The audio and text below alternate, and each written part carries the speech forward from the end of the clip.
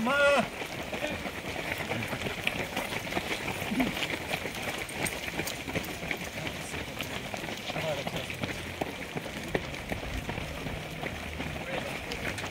Qué clase.